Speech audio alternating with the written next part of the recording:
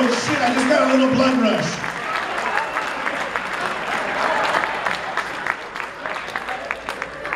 a little blood rush.